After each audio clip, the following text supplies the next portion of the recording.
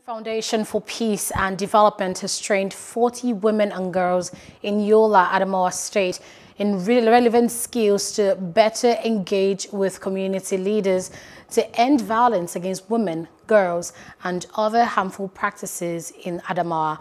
The foundation said awareness should be created about the dangers of gender-based violence. They also called on community leaders to encourage victims to speak up and report cases of gender-based violence to the police, sexual assault referral centers and other human rights groups.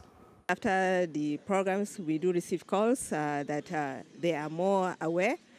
They are getting positive uh, feedbacks. Some were skeptical about some of the activities, but with, the, with what they've seen so far, I think there is encouragement and there is positive vibe in the community that something is being done about addressing gender-based violence and harmful traditional practice. We encourage the society to come out and make it work in a situation that when a rape occurs, they should support the police, they should support the court so that the case would be taken to court and the perpetrator will be prosecuted accordingly. We do have cases, but to be frank, most of the cases have not been reported.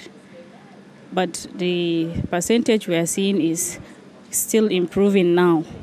Between in the last one year, I think we are getting we are creating more awareness and as such we are getting much cases now as before.